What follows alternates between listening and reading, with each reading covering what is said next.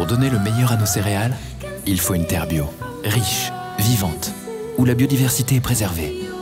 Chez Terre et Céréales, nos terres sont bio depuis plus de 20 ans, pleines de vie, pour de meilleures céréales. Terre et Céréales, le meilleur de la terre.